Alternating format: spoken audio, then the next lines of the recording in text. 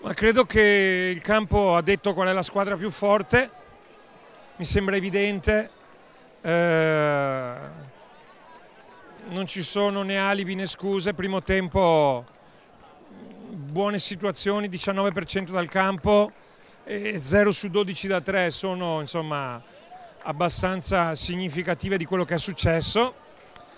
Una buona reazione poi in partita ma chiaramente il divario del primo tempo l'abbiamo pagato.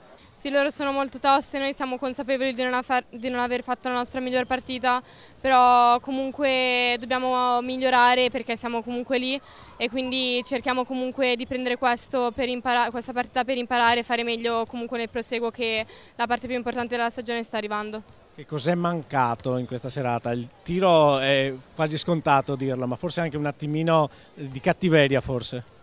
Sì, a volte eravamo lì, lì per recuperare la palla o i rimbalzi e poi alla fine loro magari con più cattiveria e aggressività sono riusciti a portarle via, quindi magari quello e ovviamente le percentuali non hanno aiutato e quello comunque nella pallacanestro è molto importante.